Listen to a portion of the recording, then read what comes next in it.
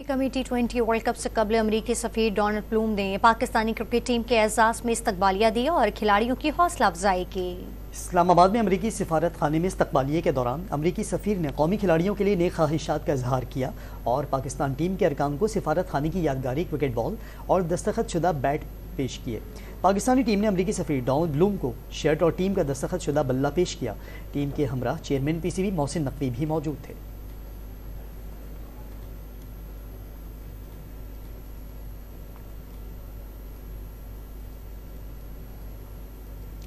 Pakistan